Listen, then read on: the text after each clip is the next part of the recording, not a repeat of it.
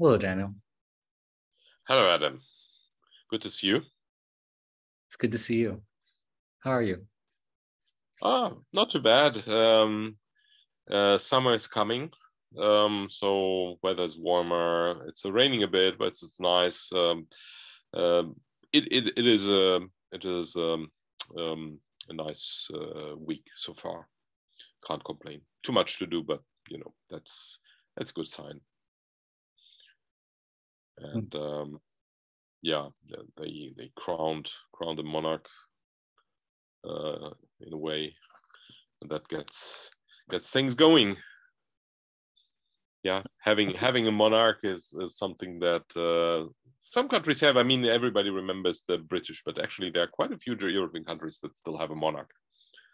Um, it's just not being talked about so much. Um, and uh, I think something is something is what's lost in moving away from monarchical solutions. I don't know. I mean, people people don't like monarchy because they feel um, it's privileging uh, certain certain people. They say they have a privilege, and uh, that's certainly true. But I personally, when I look at the monarch, to be honest, I don't see a poor guy sitting there and having to, you know, uh, keeps calm and sil- still and silent for for hours uh, when the the um, occasion demands. I see a symbol of the country. So the whole point of a monarch today, uh, it's not an executive uh, that makes a decision. The monarch doesn't make decisions. The monarch represents, and as in insofar, the monarch is a bit like a flag out of flesh and blood, if you like. And uh, that's what it is. And people have this uh, problem with that because they say, oh, they have so much money and can do all these things. That's true. But to be honest, I wonder how many people would actually want to exchange seats with that guy who cannot decide what they want to do, cannot choose possibly to some extent they're limited in who, who they can marry or can, can go out with. Uh, they're limited in how much free time they actually have. Uh, they have a job that is basically 24 7 being observed by everybody in the world. Um, not a nice job. I don't know. It's it's it's very demanding job. I, I do think that the money is there. That's true, but you know, um, it's not like it's it's not like I, I do think a modern CEO that that or modern modern startup founder that makes a couple of billions and then um, exits the company and takes the money with him has far more power and far more can afford far more privilege because they can just disappear and do their own stuff buy an island somewhere and, and, and just have fun. Um, so I do think that uh, monarchy in, in some way today is simply a way of having a representative of the state that doesn't change and that kind of has to adhere to certain rules. Because in the end of the day, uh, presidents that are elected also are something like a something like a flag. In very, very, very rare cases, do they have a political role? Look at Italy. Sometimes Italy, the president can can make political pushes like try to find a solution or kind of referee type. Uh, but it is not actually a good situation if that is not necessary. In a healthy uh, democracy, that is actually a little bit like an emergency button. You don't want that. To what extent are monarchs good models for some types of selfhood and some types of control processes like that we might need for regulation of ourselves across like is, is what are the how far can we go with that metaphor model? I think today today that has gone. I don't think that's that there's much left right? If you go to louis xiv the louis louis um, louis the 14th of france it's a completely different story. Uh, he would say okay uh, l'état c'est moi. I'm the state. And he would basically decide um, what what happens in the state and what harms him harms the state and what helps him helps the state. Um, I think he was probably also the longest lived longest ruling monarch ever, um, or amongst them. Um, now he made mistakes and quite bad ones actually um, that harmed France on the long run. Um, so it's not always a good thing, right? But, but people do derive their understanding of what France is and how it operates partly by him. There's a reason why Versailles, to some extent, is, is identified with the French monarchy and why the Republicans actually um, did not, in France, did not like that. They basically said, let's get rid of this, of this. And then they basically installed, when we look at the French president today, very much it looks like an elected monarch. Many things of what the, how the president operates look like a, it's like a monarchy, except limited in time and um, that is actually quite interesting. Actually, much more so than in the US, for example. I don't think that um, the, the, president has that amount of dominance over the over the political process as in France. But I'm I'm not an expert in the French system. I must say, it's just an uh, impression as an uninformed, interested outsider. What so, we can sorry um, I, will let you ask a question in a second. Well, I just came uh, one idea. What we can say is that the concept of the state is an interesting one. When you talk about selfhood, that is the actual interesting concept. It's less the monarch or the particular state form. Is what what is the state?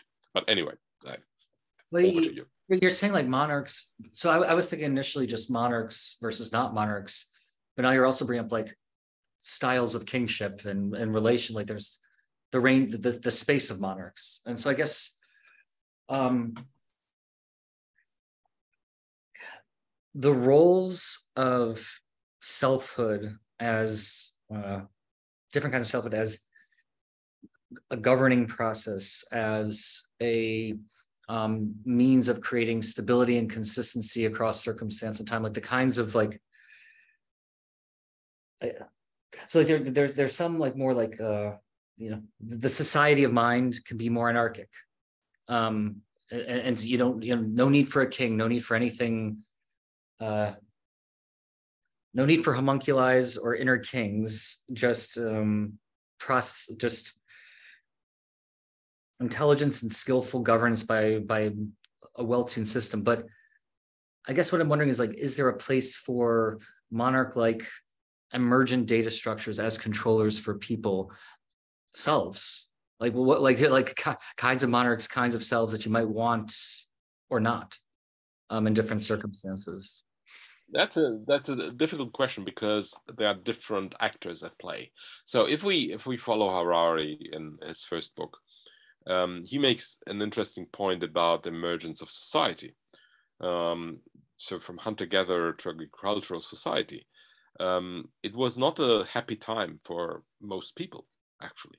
Um, hunter gatherers have a relatively again i'm citing him i have to i'm, I'm going with what he the point he makes have actually quite nice life in the sense that yes it's a little bit more precarious but it's much more interesting. Hunting today this animal tomorrow another animal collecting berries and fruits at different locations going around doing different stuff learning about different plants learning about different animals if you have an agricultural society, you keep doing the same thing every day over and over and over and over.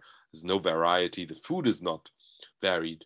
Um, you probably have vitamin deficits uh, in early agricultural societies.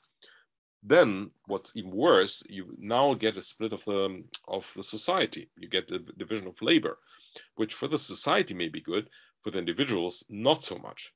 Uh, because then you have, of course, individuals that are warriors who naturally, the word gravitate is not quite right. They, they move upwards because warriors, by their very nature, are more powerful and have more power than the farmers. So you get now a warrior caste, and almost in every in almost every society, the warrior caste is pretty far up. It's not at the very top necessarily, but it's it's usually is close to the to the halls of power and then you end up with um, the layers of administration and and kingship chiefs chiefdom priesthoods that decide how the society moves around and now the question is who do they actually serve? And the argument is that when a society starts, usually it starts out with a kleptocracy. So the people at the top that just take what they can get.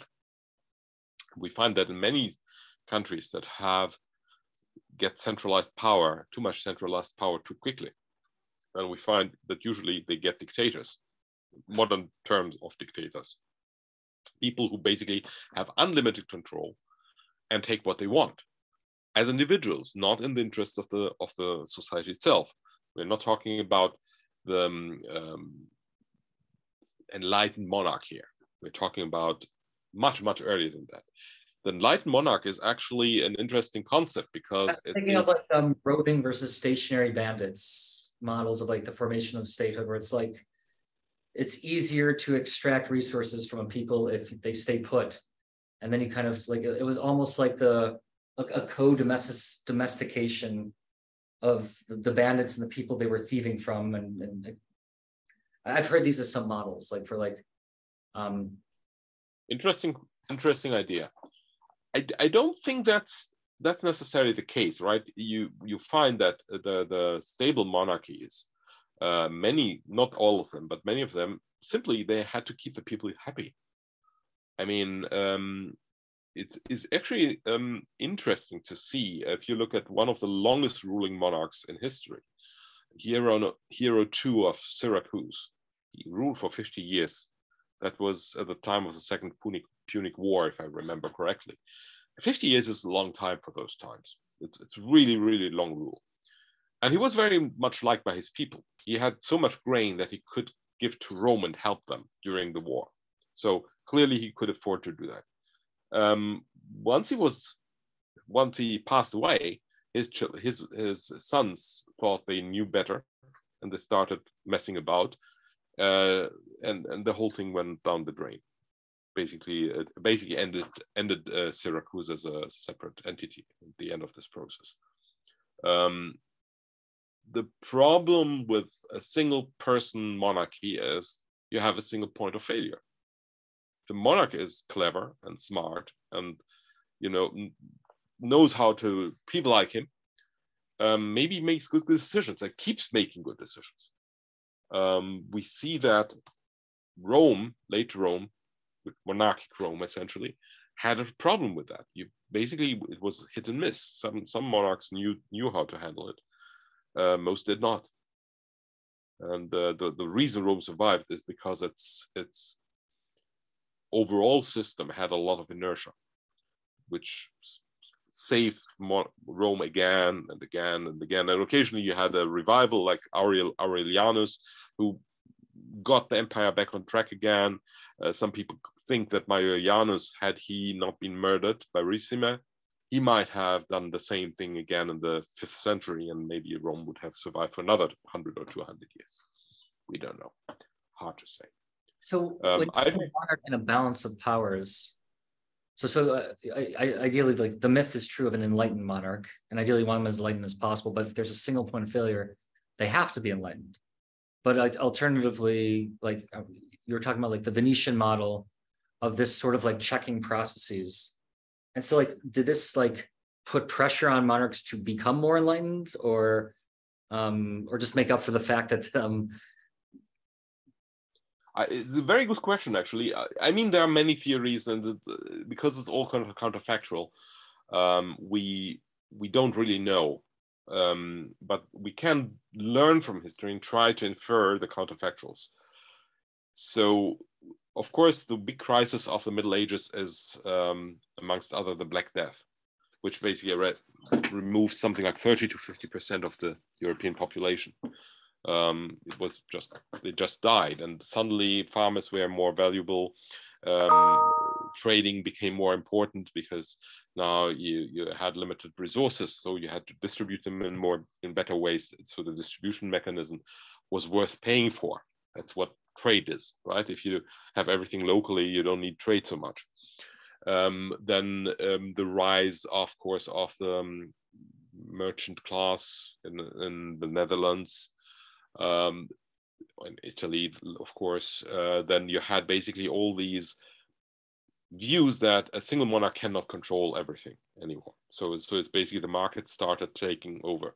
Second problem is, of course, that the Black Death put so many questions to religion that religion became this thing that had to reform. And one way of reforming was, of course, Protestantism. Um, but the other way to reform was becoming scientists and becoming asking questions in a more systematic way, in a way that is not controlled by a decree from from the top. Um, by the way, Protestantism in a way has that in common with science, in the sense that the decrees are not central; they, they are more delocalized. With all this, if you want to create a centralized state, you had the other pressure, which is exactly the opposite. Of course, you had this these huge set of marauding bands and and the sack of Rome and 30 years war and this this unbelievable instability in Europe where basically everybody was killing everybody. Basically um, failed states everywhere especially in Central Europe. Uh, the Holy Roman Empire at some point ended up being a failed state. It was not a state really but it, be, behaved like a failed state to some extent and now consolidation became the matter. And consolidation means you have to say, okay, who's who's consolidating? Who makes the decision and what belongs together? Of course, it started with monarchs, but it was not enough to be a monarch. You had to be enlightened. And then the much maligned Machiavelli, if you read Machiavelli, I mean, you read it, not just read the tidbit or something. You read the book, you read what he said. He's actually a precursor of the enlightened monarchy he has already he's talking about that already.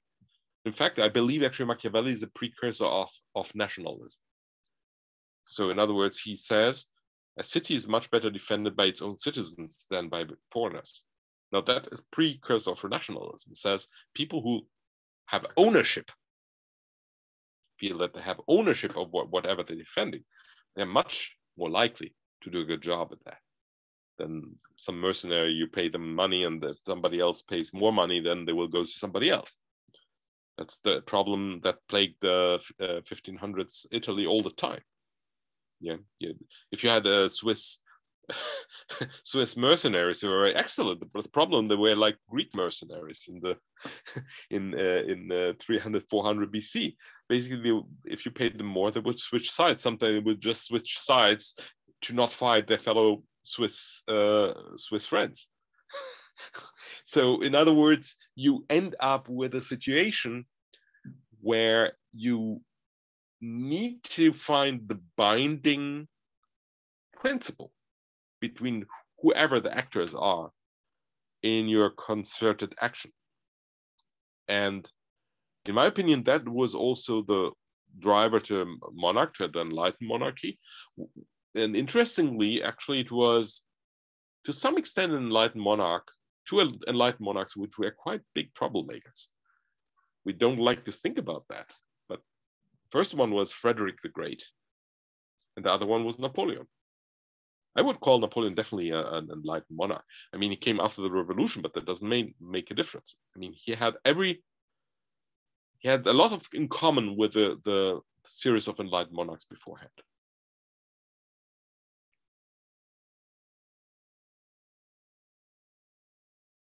So it's almost like seems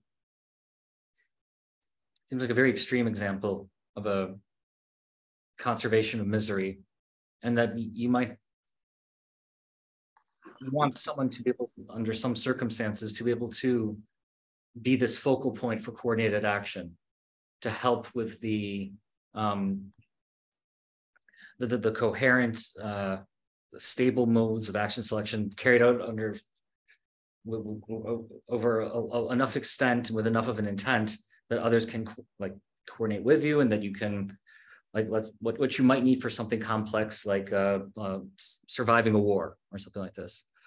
Um, but then and, and, and, and even in countries without monarchs they'll sometimes give the president like monarch like powers temporarily these like dictatorial type powers in times of emergency. Classically uh, roman republic right?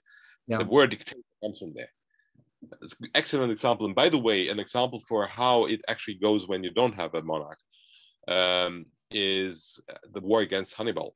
When the Roman Republic had a war against Hannibal, they had um, two consuls. Uh, I think one was called Publi um, Paulus, the other was Varro, if, if, if I remember correctly. What the point was that because they couldn't agree on a strategy against Hannibal, they would take turns um, um, basically uh, commanding the army, which is, you know, when you're on a, on a war path against a very, very, very capable opponent, having basically two brains controlling the embodiment of your army um, alternatingly, that's not a good, that's quite a drastic handicap. And uh, Hannibal used that to his uh, advantage in Cannae and basically destroyed an army of 80,000 or something like that. Romans. It's cut right through them. I forget what it was. Well, earlier conversation, something about what happens when people consolidate their will in rare ways. They tend to um, that that's a potentially promising but very dangerous thing. Like that sort of consolidation of intention and force. Like someone can really create change in the world if you have that sort of like unified functioning, for better and worse. Absolutely, absolutely. I mean, this is one of the um, sources of nationalism. The whole point of nationalism is actually quite interesting, in my opinion. Um, it, it was much maligned. There's a there's a whole um, set of history storyline that maligns it, but I personally like it. Uh, like to look at it from a systemic point of view, from a structural point of view. So, in a way, um, the enlightened monarch um, was superseded by um, by nationalism. So you say we don't want this one person that makes all the decisions, right? Maybe we need them temporarily, but they, there should not be so much power concentrated there. And in a way, um, the French Revolution paved the way for that. Possibly also the American Revolution. I, I will not take that away, but I think the French Revolution was, was more influential in making that very explicit. It's a, the nation. It's not the individual anymore. It's it's a nation that is now important.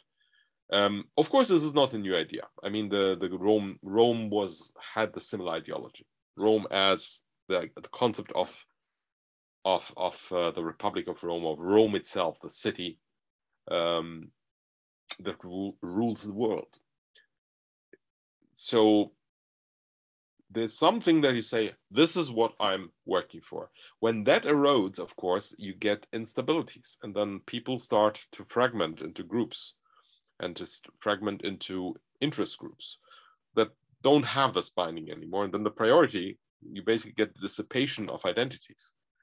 And then countries or states or institutions or we can disintegrate. And that does happen. So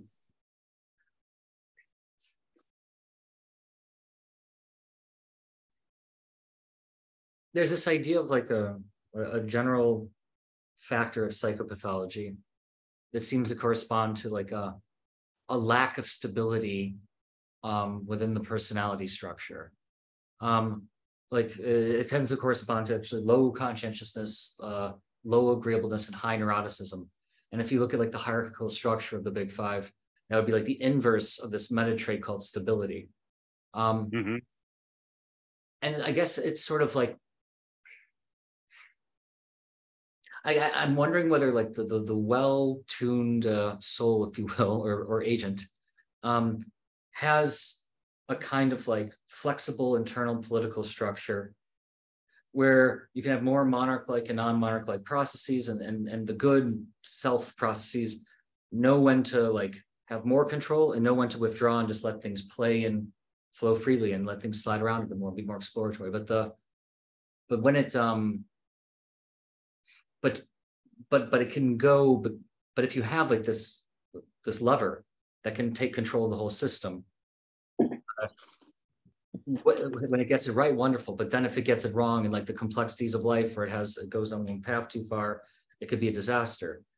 And but then you might say okay but you might also say like um uh so you'll see this in some like um within like the psychedelic literature and then the, and the contemplative science liter- um, studies, they sometimes it's like the, the the optimal state of functioning for beings like us is to remove self processes, to be more anarchic, to to get rid of the the monarchs or conductors, and to be and to go for more of like a self organizing harmony with your surroundings. But what I'm wondering is, is if you remove, well, while while you don't want like a permanent dictator, I don't think within within you within you, to re- completely remove it, I wonder if you get something like warring factions.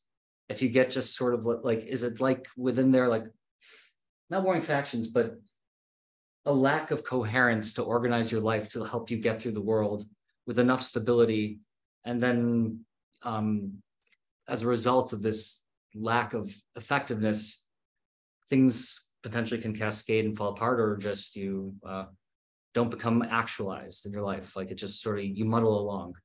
And so I, I guess I'm, I'm trying to think of like how how far should I push political analogies to think of internal governance? Is how it's, dangerous is that? you don't have to go so far, right? There's a much more accessible model um, of governance, um, and that's a conductor of a classical orchestra, um, which is really the optimal level of, of looking between the individuals and the, the gov- government. Because you can have good orchestras can play quite well without a conductor for a while. So what's the role of conduct- conductor? Basically, the job of the conductor when he's conducting the piece in front of people with a good orchestra, in a way, it's done. He, he just he just basically does a choreography. His job is to get people to develop this coherent sound, coherent piece, coherent vision of what they're going to play in front of the audience. Of course, uh, there are very complicated pieces where conductor is needed and to, to synchronize them and to correct mistakes and to, to, to, to buffer off issues. But the point is, you can get very far without a conductor. Okay, we have to be fair. We have to be fair, of course. And if you have a classical piece, there's a score. Everybody shares the score. So there is already an element of synchrony imposed on uh, the system. In in um, in I'm not such such an expert, but in jazz and, and jazz combos, uh, it's a rhythm that keeps them together, right? So they have this way of of playing together, and they have have the, the, the standards that they know. And the question is in governance, the situation is a bit different because you muddle through most of the time, but then there are emergencies or real dangers or real deficits that have to be planned long ahead. This is not fun. If I am a leader of a country and I, I know that there will be a drought uh, next year, I have to take people's grain away store it to make sure that people will have this grain next year. Of course, nobody wants to give out the grain. Don't want it, right? They want to keep it for themselves. As a governor, you basically have to work uphill to do this. And now the problem is this is the first thing you have to work against. And the second thing you have to work against is not to give in to your uh, nobleman, to nobility, to give them the grain that you just I will not call it stole. You you basically you um, raised you, you cashed in from your farmers. Uh, nobility say, "Oh, you have all this grain. Give us some because we want to build now this new this new uh, palace." And you have to say say no to them. So you have to have taken the grain from the farmers. That's the easy part because the farmers can't fight back usually, right? And they don't usually do that. But saying no to the nobility, that's quite a different thing. You have to be quite, say, quite forceful to, to say no. No, you're not going, going to get that. That's not for you, right? So in other words, um, this central unit is, if it works well, needs to be able to do, say, delayed rewards um, needs to work against resistance, needs to make correct guesses too. Because let's assume You take all this stuff away from your farmers and you think it's the right thing to do. And then it turns out they all starved because they actually needed it. I mean, we know that uh, in communist states, uh, some five year plans were done without any regard to whether the people actually um, would profit from that or would survive this. Decisions have made, are made and people basically just starve because the decision is just plain wrong. It's not a good decision. In other words, the, the problem that you're facing when you're such a centralized entity, everything is decided by you and you have to get everything right. Make a mistake and people are in trouble. So in other words, one reason why you want actually pluralist society is not so much because um, it's so nice or anything, but because knowledge usually is not concentrated in one person and experience is not concentrated in one, one person, uh, but it's distributed. So would there be some connections um, so that this way seems like a source of, of, of disanalogy between governance of um, peoples versus persons because like in persons, uh, the credit assignment, while still thorny, is a lot more tractable. It's like tightened up by like you have a particular location where you're pursuing particular actions and certain things of the frame of uh, certain aspects of like what should I do and what just happened are curtailed just by the fact that you knew where you were and what you were pursuing. And so, but if you're dealing with, I, I guess I'm thinking of um, like Hayek's like uh, central planning um, it's almost like a credit assignment problem of like, uh, what was it, the central planning calculation problem? But it's like all these people, they're different like desires um, to actually track all these contingencies. Like no one person can do this. But if all you're accounting for is your own desires, you might have a chance. so, yeah, you have a very simple chance, and I'll tell you what what why you have this chance say, first of all, from a symptomatic point of view, if you eat something, your body is democratically fed, right? Your, your, your whole intestine system will actually make sure that every cell of the body gets the proper uh, food unless there's an illness in the body, right? Second thing is, don't forget all cells in your body are sisters and brothers. In fact, they are clones. In fact, they are the same individual, just with differently expressed genes, more or less. I'm not talking about bacteria that live in your body, but, but your cells are essentially all the same. So in other words, they inherently have to work together. They are inherently, the, the selfishness is holographic. It's spread over the whole body. And so it is basically a bug when that doesn't work together properly. So does yeah. nationalism create a kind of like um not a virtualization, but but this idea of um being more like clones and changing the logic of cooperation. Yeah. Yes. Yes, you're right. Yes. Yeah. Yes, exactly. Basically, the brothers in arms or brothers in uniform. That's why it's also called uniform. Everybody has the same uniform. They are all like you. You forget the differences in this moment. exactly the point. Yeah, I mean, I, I, I basically it was implicit to the argument, but I now realize that yeah, you're completely right. And this is both the advantage and the danger of it. Right? The advantage is that you get many people working together on a common goal. The disadvantage of it that you can actually send many people into um, into their death um, for mistaken judgment, for slip of the tongue, for whatever reason. I'm talking here with obvious um, side side views to you know Germany, the war uh, against France in uh, 1870, uh, which was started by um, essentially a diplomatic provocation by Bismarck, or the First World War, which almost started well. It's hard to say whether it was intentional or just a slip or just had to happen. It's a complicated story. I'm not a historian at all. I'm interested again more in the system. But yes, you can send all these people into their join the aligned death.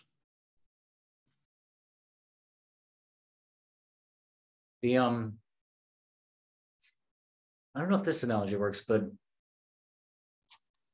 so to bind people together as a nation, um, like to have some sort of like a, a common, I guess, hope and faith, or like across them a common narrative and a mythos.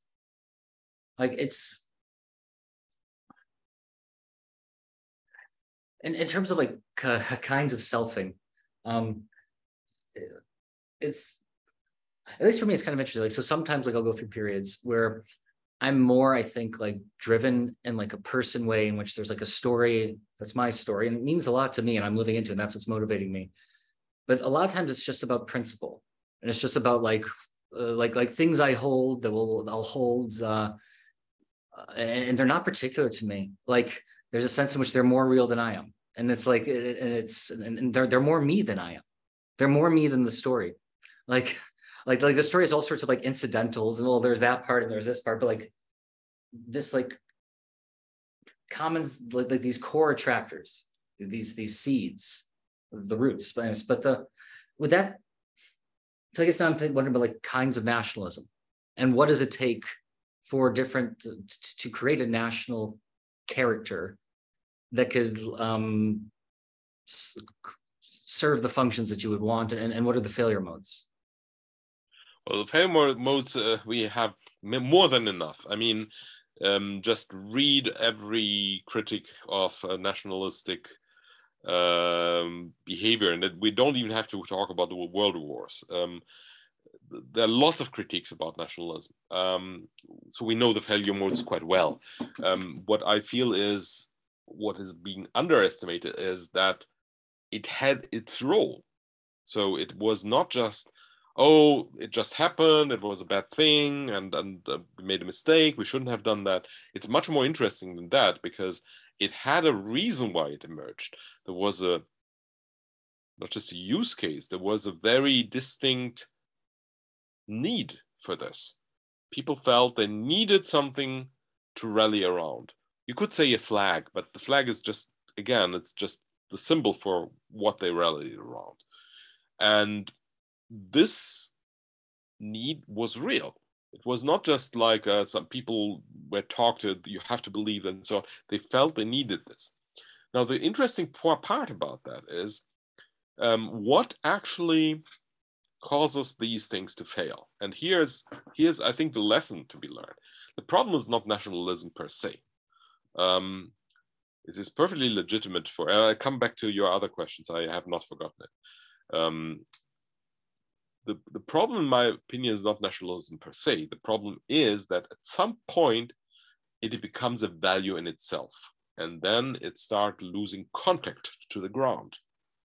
Then the balance between the legitimate interest of the individuals or subgroups, or perhaps groups that do not fully belong to the, to the nationalist entity, and the overall interest they don't align that that well anymore. Now you have to re renegotiate that, but they're not renegotiate. The power is now devolved to one level or to the other level, um, and now this this negotiation has broken down, and so you get either hypernational states where the individual is not not worth anything, the individual is nothing, is nobody, and these states don't have to be fascist. They can be also uh, we have seen that also in socialist states. So that both both are actually de-individualizing the nation. The individual has nothing, has no importance. Or there is the opposite, where the individual is everything. Um, then then we can get things like i mean one example one extreme example are failed states where then the individual says well the, the, state i don't care about the state i want to be powerful. And then you get these local warlords that basically create um, pyramid of loyalty via clan system via family for example or via um, via loyalty loyalty dependencies and things like that um, interestingly, um, one of the most, famous examples of that is one of the largest countries ever, and that was the Mongolian Empire. That actually worked like a warlord empire initially. Later, they adopted Chinese uh, Chinese bureaucracy and administration, but beginning it worked essentially like a um, the warlords of failed states, except that there was just one warlord that controlled everything else. Loyalty was everything. The, the stories about about the um, recursive loyalty of uh, uh, Genghis Khan's uh, state are legendary, right? He would actually punish people who would. Um, I think one story goes that um, some some subordinates of one of his subordinates found that that subordinate wanted to murder him, and they went to Genghis Khan and told him that, and he basically um, he executed them for breaking the loyalty recursion. So it was so important that loyalty would be pre preserved to the next level, layer level up, that he would even punish somebody who would actually whistleblow. Um, and that is, but in principle, this is a kind of the type of ruler that you have in failed states, and very rarely almost never it happens that they actually get in power. And when that happens, then you get actually a proto-state or a proto-kleptocracy. And that ceases to be a failed state. At that moment becomes a state, maybe flawed with all kinds of problems, but it is a state. But if you have uh, places where you have all these warlords that constantly at war, there is no central power, there's no central agreement what's right. The rules are made by whoever happens to be in charge on that spot.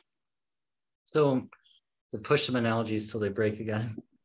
Um, I wonder, like, even like a uh, within the attempted, hopefully not failed state of my own soul, um, I do feel like there's a uh, a tension between um, principle and personhood, and there's different failure modes when I go too far in any given direction. So, like, I it does become like with personhood, it's like like sometimes like the loyalties, those particular relationships. That's like that's the sweetness and the meaning of my life. It's all those particulars. But but also though there's like the long term plans and then having to make sacrifices and you know uh, as much as I'd like to, I just can't hang out with my friends all the time.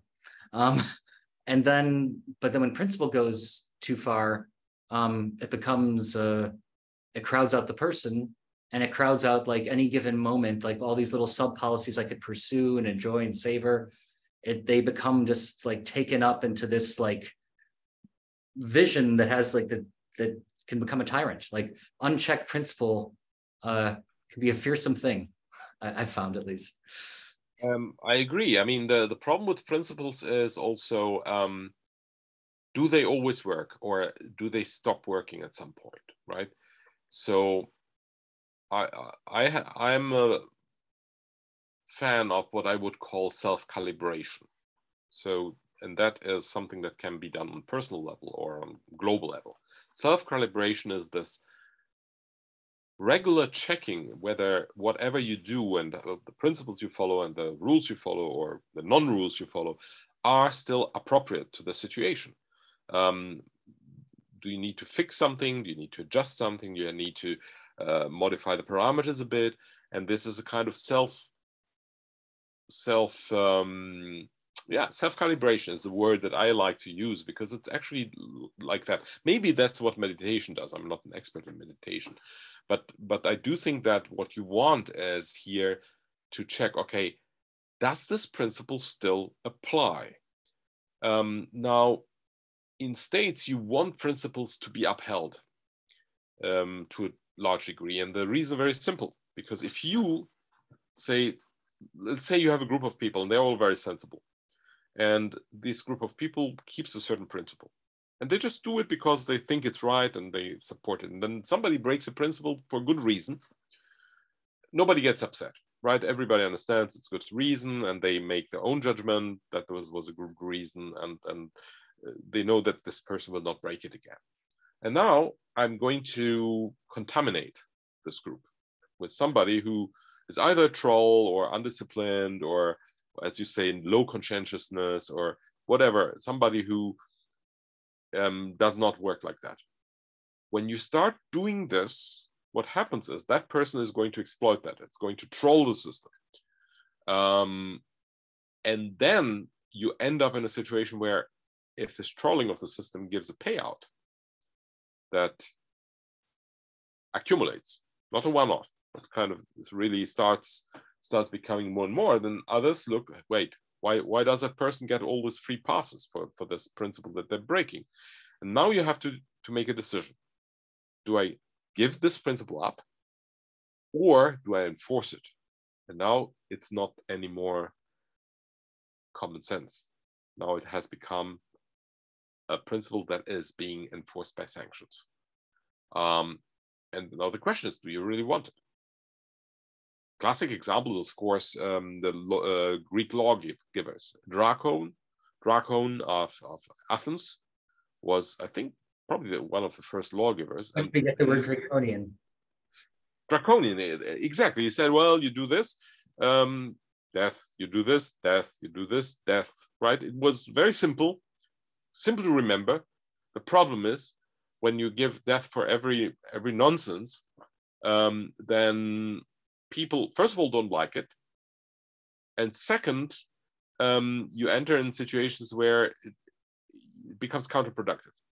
I mean, and, in, my own my own experience with um, being overly draconian, it it will even become a kind of like conditioning where it actually becomes hard. You you start avoiding the principle, or you start realizing it in kind of like uh slightly avoided ways. Like, like it ends up being it's not like um an enthusiastic um serving of the principle where you're like you're being creative and rich. You're just like okay, thank God I did it. And it ends up being self-undermining, like a draconian, the, the draconian.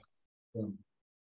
exactly. I mean, I mean, there, there is the story. It's it's probably not. Uh, it doesn't apply to Dracon, but there's um, um, a legend, and I have to say it's a legend. It's pro- it's probably not him. That he he was in a battle, and there was a law that he's not supposed to enter the city or the palace with the weapons on, and he basically forgot that because he came back and he said, I need more troops, or he was something urgent, forgot to take them off. And then um, he noticed that he broke the law. And then he wanted to commit suicide. I said, No, no, no, don't do this. Don't do this. It's okay. It's okay. No, no, no. I have to do it now. Um, so it can be self defeating. On the other hand, sometimes you have these sacrifices that actually reinforce the penalty, like in the case of Brutus in Rome. Not the Brutus that killed Caesar, but the Brutus that deposed the last king. Um, when his um, his uh, sons wanted to reinstate the kingdom after the republic had been founded, um, he actually um, he basically um, convicted them, and they, they were sentenced to death. And he sentenced his own sons to death to said the principle is more important than my family. Now here, the situation is a little bit different because it's not that the law generally is over principled. The problem is that he basically said, well, conflict of interest does not overrule the law, which is slightly different matter because somebody else should have made the same decision, not just him. That decision was a sensible decision if somebody else had made it. So basically, if he does it, it should not make any difference. When people would overrule that because say, no, my these are my sons, so I won't do that, then you basically have the conflict of two levels, the personal level and the principle level. They conflict. That's one reason why you want to avoid that. You don't want to put people in this position and you don't want to have decisions that are not um, that are contaminated by possible interference of multiple levels of interests that are, especially when they're contradictory.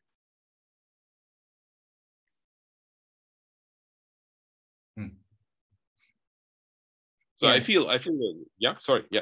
In terms of my uh, my uh, failed state modes of um, over draconian um, attempted adherence to principle of an over draconian variety um, it's like the avoidance patterns and the kind of like almost like adversarial attacks on it that I'm doing.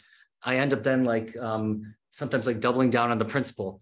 And it's like, but then it's like it's like it's like an escalating tension of like, uh, there's some part of me that's like a rascal trying to get away from my duty, and then duty's like, no, and, but it, that's it just exasperates the situation of like feeling of pressure, and then like yeah, does, doesn't work. That's not a, that's not a harmonious society. That's not like bringing up the best in the society of atoms. You know, that's. This is why fi finding the right balance is so difficult. I mean, there's a famous general, maybe it was Alexander the Great.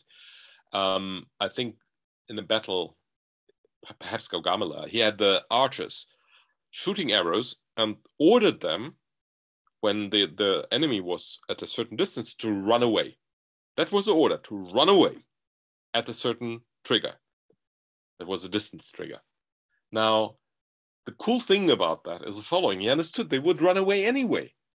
So he gave them the order to run away. So basically, they did not disobey. So they were actually following the order by doing the natural, uh, taking the natural action.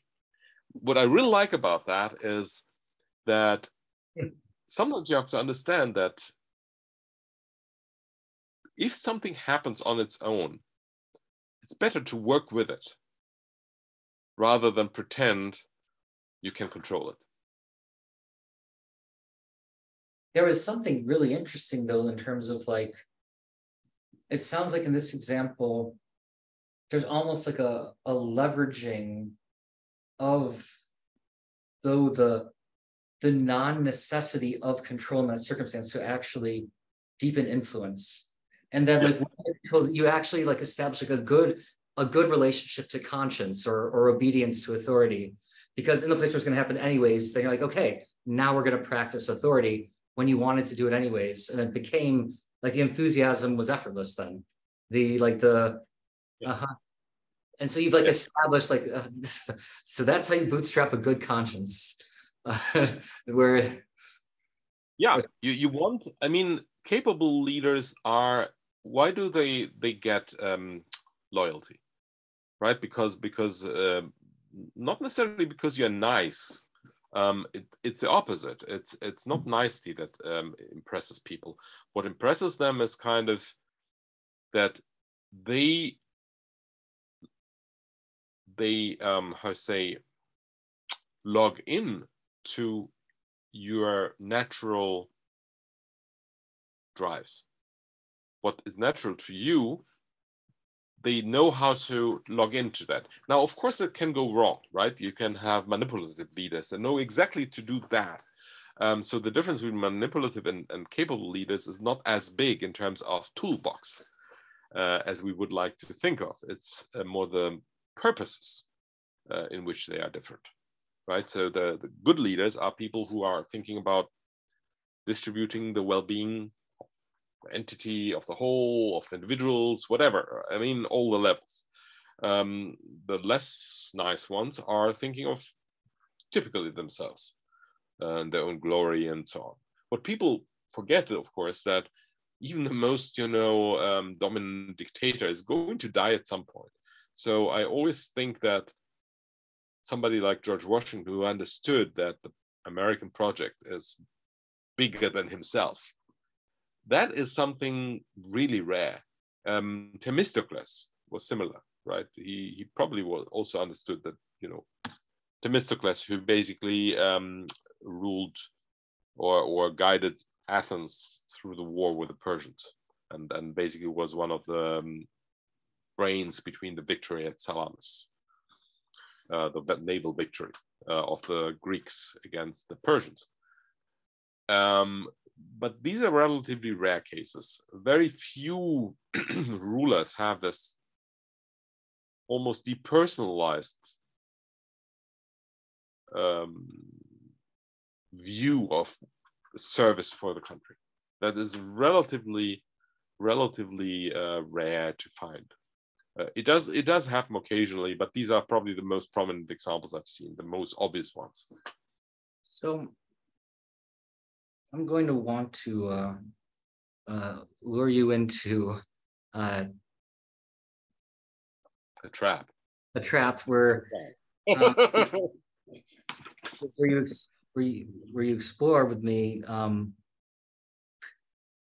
for non-human advanced intelligences. To what degree do these principles apply to how we might want to configure them for the sake of both their intelligence and their alignment, uh, both for the sake of their intelligence and for the sake of making sure that their uh, impacts on society are beneficial. So questions such as like, do we need agent architectures ultimately for advanced intelligence or as people um, like Bengio, for instance, and others are suggesting, maybe you could have like purely depersonal truth-seeking agents, or do you need to that are disembodied and and, and that you, these can be potentially though arbitrarily intelligent in terms of their understanding, or might we need something more contingent? But then if we're talking about agents, what are ways we can make that sure we can help to ensure these are the kinds of agents we want, both in them being powerful but alignable and like so these issues of like statecraft and the, the statecraft of the soul you know ultimately you know i'm yeah this cybernetics governance uh you know I, I want to be a good good governor to myself we all do but for these minds like what principles of governance both in terms of the way we configure them as governing systems and i suppose um the ecosystems of then us and the governments we try to uh, impose externally. What are the good governance solutions? And we we started talking about this in terms of you talking about like, like the multiple, not looking for a, making sure you don't have a single point of failure, multiple check systems in a kind of um, dialectic where they're um, co-evolving and, and co-regulating.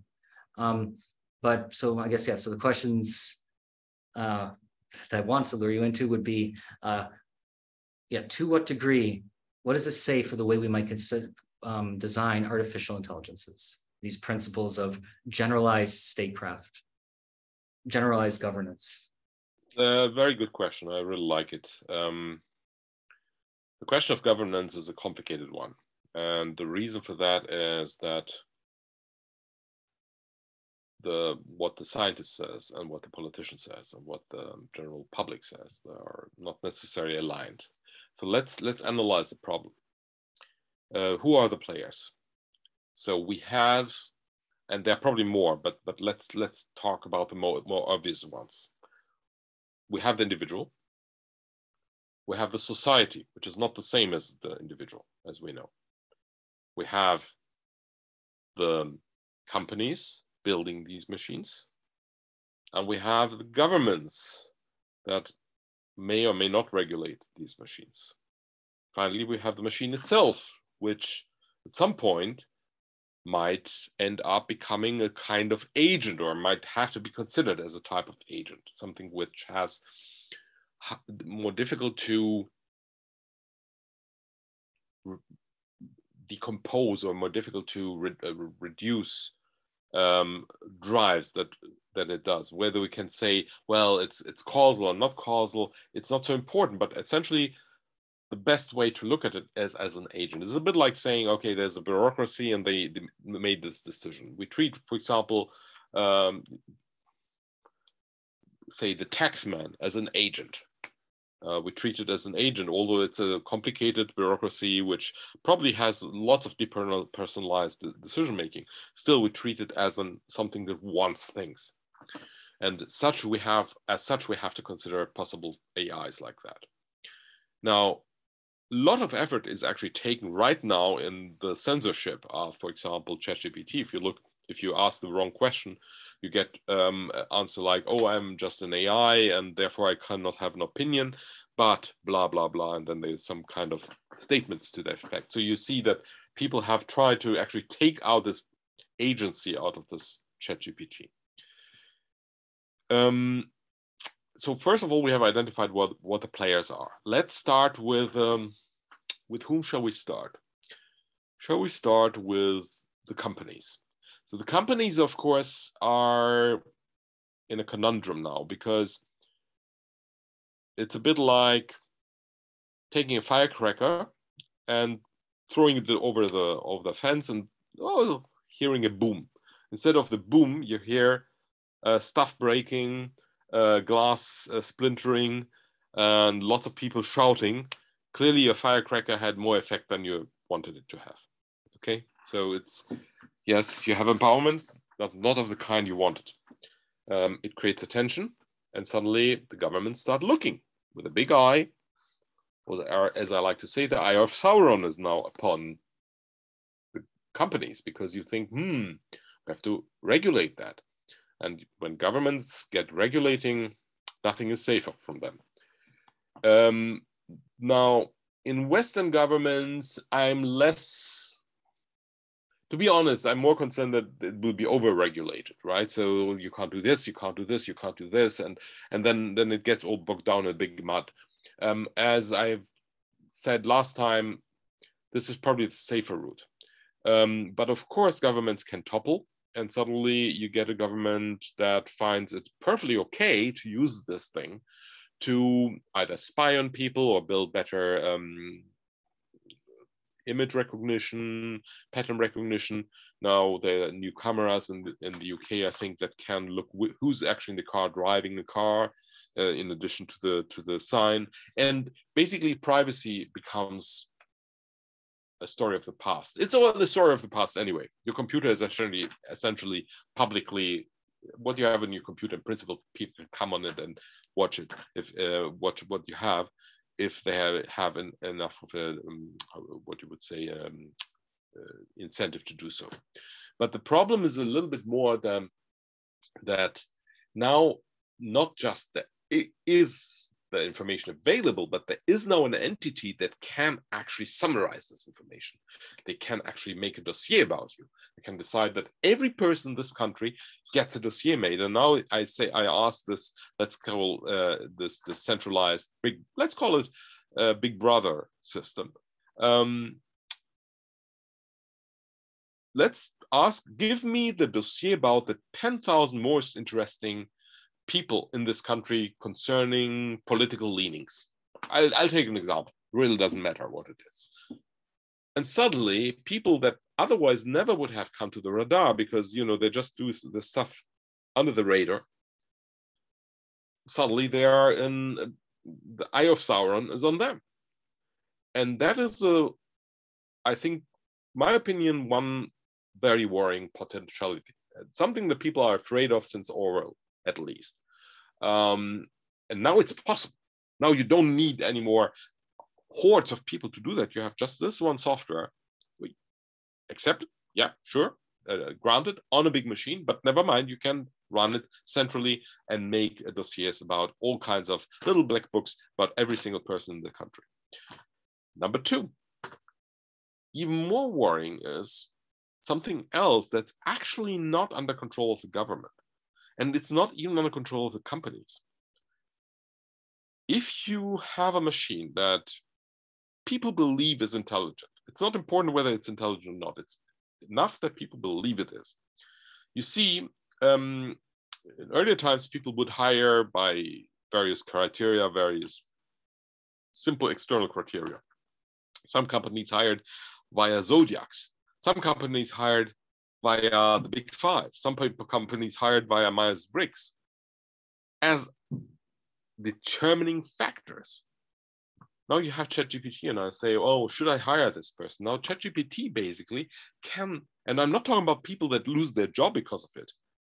I'm talking about people that don't ever get hired because Big Brother decides, Big Brother computer system decides that no, uh, they they don't convince me and it's not transparent. Nobody makes this decision. This is the only criterion. You can't appeal to it. There's no way for you to actually defend against this thing. And there was not even a human that said, I don't like his face. You know, that, you know, a human may not like your face and they will not invite you, right? But here there's a machine and this is universal machine. Everybody uses it. So you end up not getting a job anywhere. Not because of anything just because the machines are just there are three or four different systems that people use and they all basically agree that some parameters of this person don't look good. Yes, now, i would definitely be uh, dinged because you know like i uh, will sometimes uh, adopt more like philip k. Dick like sensibilities or talk in metaphors. Like they would think it would not go well i think if they just like if they just kind of like searched across all the things i've written and said like it's like you know, I'm I'm I, I keep track of the disanalogies, but I'm I'm fine to like play with like very high temperature searches, knowing that I'm doing that. But then if that's now on the record, and then you then match me, I might get dinged by that system based on a, a very reasonable statistical inference. but because it wasn't actually someone to, it didn't have the oversight to like know what it meant uh exactly. And this is why the, by the way very similar i have an analogy from uh, dnas i mean dna is a, a wonderful tool to establish whether a person's biological material was somewhere or not you can clearly say this person's biological material was here for a while people actually identified dna with a proof finding DNA for a person says this person has done that crime, which, you know, it increases probability drastically, of course, and it puts a big pointer on that person, but it's simply not enough to convict. And that is something that only comes out that people can have, leave the DNA for completely innocent reasons. So, in other words, DNA is one of many factors that should come into play not just one factor. Um, but because people will say, I'm, I'm, I'm giving you the promise, somebody is going to write a book where they say, and systems like, let's say, ChatGPT are integrating everything, and therefore they are more reliable than an individual human's judgment. I guarantee to you, somebody is going to write this sentence or a sentence that says something similar in a book where they think this is what we should do in future. I, I, I smell it. Now, what some, the problem in some ways they won't be wrong. In some ways, they will always be wrong, and they make huge mistakes. We know that the self-driving cars um, are quite reliable, surprisingly, but they make mistakes on completely unexpected situations. Well, suddenly not. hmm? Until they're suddenly not. Until they're suddenly not, and there's no warning, right? It's not like with humans where most humans can feel that something's off or the type of mistakes they make are you know they are mistakes you, we can follow of tiredness or or or inattention or something like that um, or they have malicious intent that's also understand you can also follow it you can understand how where it comes from but these machines will fail in completely unexpected ways really big holes like complete failure of of, of, of doing something. This is the second worry I have. Number three, of course, is yeah, um, society. Society will now have a problem because people will lose their jobs. A lot of people will lose their jobs. And the question is, will they get something else instead? It's not clear. Because if you are somebody who summarizes articles, or you're somebody who puts together paralegal document or things like that. I mean, it's only a matter of time until you can get these systems to be more accurate in terms of facts. It, it, you know, it will not happen tomorrow, but it will happen. It, it's clear that now the technology is so far that this is something that's very clear on the rise. Five years, 10 years, 15 years. I'm not going to make any guesses. Um, so what happens with these people? What do they do? These are jobs that are paid well because they are not easy jobs. They require intellectual capacity. And yeah, and they'll it'll be talk like, oh, the the AI will create more jobs than it takes, but the question is, will people be able to retrain, and will the people whose jobs are taken be able to retrain? So it's like, well, which people are we talking about? Yes, maybe more jobs theoretically are created, but what about the what people? jobs? Yeah. What jobs? I mean, one has to be, you know, you, for whom? if you say exactly, first of all, this is a classic thing. You people cannot just be shunted from one job to the other easily. But let's even assume. So when you have cars, you move from from horse horseback to cars. Um, okay, then then you know you ride. You're, you're basically the coach coachman, coach person, and then you become a driver. Good. Okay, I, you can see the analogy.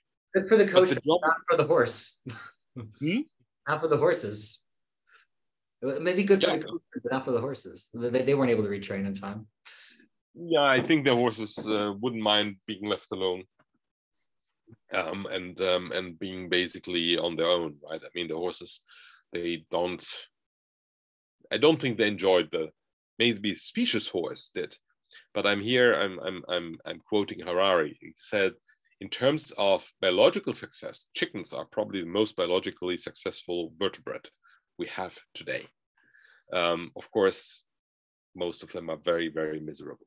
the aliens come down from space and they see like the chickens, they're the ones in charge. They're being taken care of all their needs. They're they have huge no. no. Yeah, and then they go away and forget that to to um, the forget to visit uh, Colonel Sanders, right? Uh, so, so we have a kind of panopticon, scary if it's working well or if it's not working well. We have um, catastrophic failures that are unpredicted, where even like if it's working well, they could be even more costly because we've trusted them more and we pushed harder into the failure. And then we have basically the um, the creative destruction might have a lot of destruction. the, the creative destruction of the marketplace, the, the they're sure, yeah, they're gonna there's gonna be creativity, but what might not be created is a sufficient uh, safety net or contingency plan for the people who need it in time. That might not exactly. be. A lot of things will be created, maybe not that. And without that, you may get huge unrest, social unrest, and just and just people's lives ruined because unless they're somehow yeah. taken care of. Exactly. So we, we are here, um, and these are all the dangers that come all before the AI itself is a danger per, per se. So before the AI becomes an agent. Um, now, of course, people are worried, okay, the AI will become self-aware and so on. Well, yeah, you know, maybe that will come too. Uh, it's, it's, it's never, one should never say never, right? Um, sorry, James Bond. Um, it, it's true. never say never. Um, but even before that is the case, we have these three layer, layers of problems. And of course, if the AI should become um, get a self-interest some in some way, uh, it might be a problem. I must say, however, that we need to be careful not to project onto it our thinking because when humans have interests, that's because they are evolutionarily driven to uh, to do certain things, to have offspring, uh, to try not to die, and that that determines what they decide to do in, situ in situations of pressure, for example. Um, but humans usually are not that averse to go to sleep. I mean, some people are, but but most people are, don't mind going to sleep because they assume they will awake next morning. That's the assumption. Um, an AI that you say, oh, we turn on you off today, but tomorrow we turn you on again. AI says fine, no problem, because it's not worried about its future, right? So even if it has the self-awareness and self-consistent, self um, self um, preservation instinct, if it had that, doesn't mean that it translates into a destructive wish of destroying humans. The actual danger is more that it will destroy humans because of stupidity, because of some stupid bug that decides, okay, now we have to do that. Because of course, right now it needs us. It will probably need us for the foreseeable future, at least 50 years. It needs energy, it needs the the the um, uh, par, uh, you know parts uh, replacement parts. It needs needs um, the, the, the infrastructure. For the AI, the humans are perfect, perfect. Uh, say, wouldn't wouldn't call slaves, uh, servants, or not even that. Uh, basically, logistics. The AI needs that logistic. That is not something it can do itself. Robotics doesn't work yet. So that the real danger is that just it's just stupid. And in fact, the fact that the AI is stupid is not the biggest danger. The biggest danger is that humans are stupid. So that some people will connect that AI to Internet of Things or nuclear weapons. You know, there are people who who think. I mean, I would say nuclear weapons probably not. Um, I think there are enough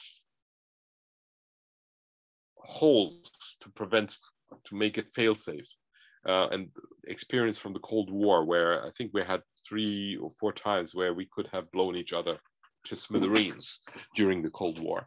And they have taught to tighten security measures. So I don't think the AI will be given access to that. But you know, Internet of Things would be horrible. disastrous. You could basically turn off whole cities this way.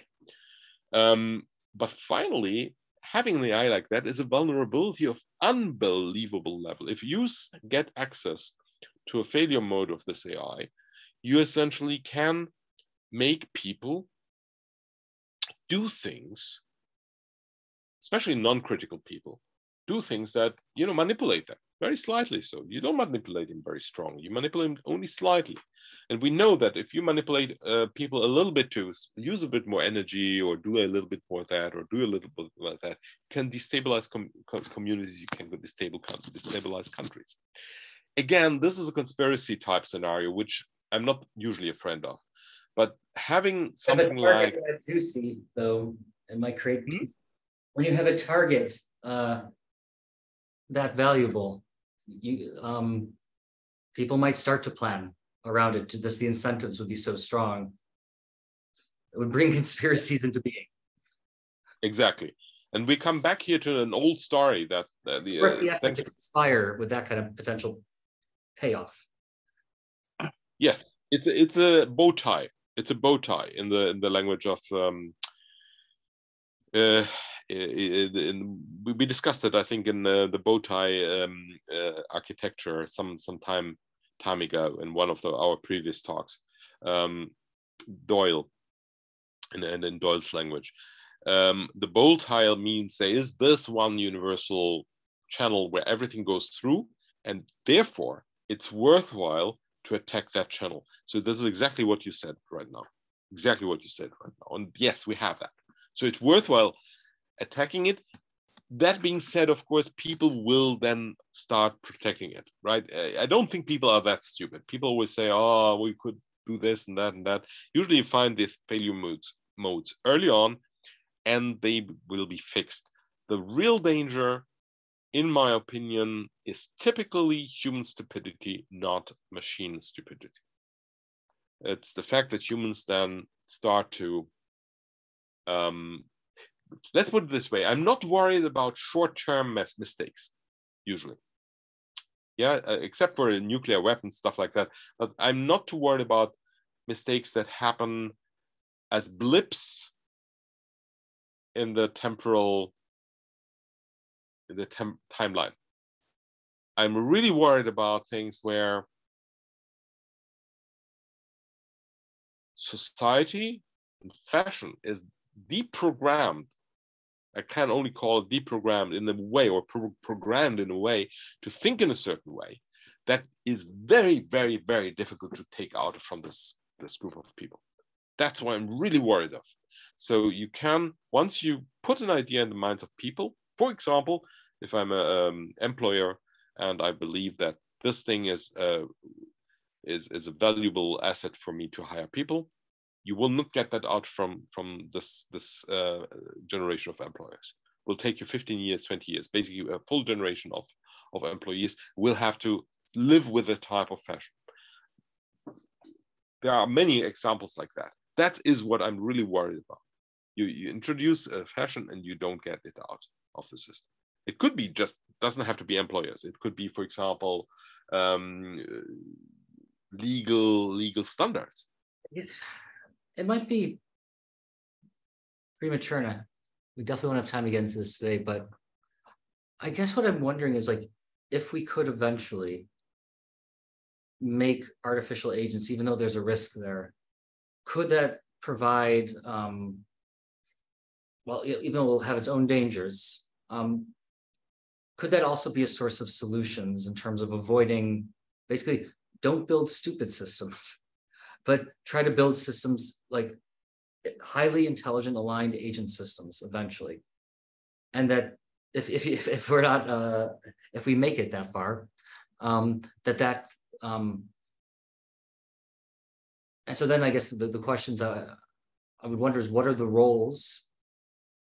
Is it the case that um, like the roles of agency in intelligence um, and different kinds of agency and what it might take to realize them. So, you know, so people are leaping right to super intelligence and they're taking over the world. um, the, the, these uh, systems that don't exist. And so some people are saying, don't build agent architectures because of this. Build some sort of like Oracle system that just uh, uh, seeks truth and evaluates hypothesis spaces, but has no desires. Is never never interacts with the world. It just you, you feed it in the the data and it, it figures it out with reference to some sort of knowledge base. But yeah the the problem is i mean you could ask okay what's the best organization of knowledge or, or cognition or information flows to get certain goals. And to, in very small cases you can actually compute that. Exactly. You can say this is the best organization of information. Um, the problem is really that it's not clear who are the agents in society right? Um, i mean if you believe lachmann's um, and his colleagues new framework that basically agents are vessels or essentially humans are, for example, vessels of various interests. Um, basically, for example, genetic interests, social interests, um, uh, the individuals, the ego interests, and so on, right? It's not just one interest. There are many things that are competing for the resources, right? Um, you always feel that if you, you feel that you want to eat now or you need, to um, or you need to um, you need to uh, do your paper and want to do your paper and they're, they're competing interests here that have to share a single resource. The problem that you have facing is how do you organize that? And for that is there's no clear answer because the question is who's your who's your domineering time scale who's actually going to get reap the rewards of what you're doing now? Which of these sub agents in you is going to get the reward? That's basically the question. And that's not, not doesn't have a unique answer. Um, I think it was Zimbardo who wrote this book. I forgot the title, where he talks about the different types of time um, time characteristics of, of psycholo- uh, the psychology of, of people. Basically, some people are oriented to the past, some to the present, some to the future, and some to the transcendent future. That's that's uh, in a nutshell. Um, so you could actually say, who gets the reward? Who's supposed to get the reward of whatever I'm doing? And that cannot be decided, not even for a single person, obviously. It's not very clear how to do that. So you have to make an educated guess. Um, I think that one thing that we need to make sure is, and here I'm returning to the Venetian model, no one agent, no one level gets full control, ever. The whole point is, what if you want to move to a new equilibrium, you have to negotiate it. You cannot just do that without having to negotiate your way there. Coercion coercion, uh, power games, pushing through is something that by nature should be resisted. And that's why I said the regulation of government is not something that I like to hear, but it's probably not a bad thing if it happens. Um, because any move into a direction, quick move into a direction, is something that needs to be made more tedious, especially now that things are established. When you do science, you try this, you try that, you know, you try out stuff. You don't want to be hampered by difficulties. But the moment that you start exploiting, that's the moment when you have to start thinking, okay, what are the balances and checks that I want in place to make sure that no single entity of the whole system can make decisions without taking into account the various forces that are in play, whether it's a government, whether it's a company, whether it's individual, whether it's society, that has to be in balance. And the balance, there may be different balances, there may be different equilibria, but it has to be negotiated. It cannot be just imposed on the system. That is, I think, the critical point. In the moment somebody wants to impose something, and by the way, humans are very, you already said it yourself, uh, they're naturally opposed to something being imposed on them because exactly my opinion of this reason they have this bubble of autonomy around them they expect it to be there And when that is violated, they resist. It doesn't have to be big, but they resist when reactance. Hmm? Psychological reactance. I think that might be the Yes. term. Yes. And that is very valuable. One has to give res- respect to it. One doesn't have to agree to it. One doesn't have to end the negotiation saying, okay, we, we just leave you alone. But it has to be a negotiation if we want to do it. So, in other words, what you want is a system that where this negotiation is a default and where it's not just basically um, we are steamrolled by decisions, whether they, it's from the government, whether it's from companies, whether it's from individuals, whether it's from society. The steamrolling must stop. I do think that is kind of the lesson learned. How do we stop it? It's a very good question. Can the AI itself do that? Well, probably if you pit multiple AIs against each other. Not against, not in an adversarial way, but in a way that says, well, you can't just do that. Yeah, you have to negotiate with others. There needs to be a balance of power. And that's what you want in situations like that. You want to make sure that is n- there is not a single entity that can take over. Um, that's very hard to do. It's very hard to do. Normally, people are don't like that because it's very, I would say, coercive. It- feels coercive. It feels like, um, um, you know, we want just to do that now. Um, well, yes, we just to do that now is good for exploration. It's not good for exploitation. Once you move to the exploitational stage, yes, you want it to be tempered with whatever else is out there that might have a right to have a say in whatever you want to exploit.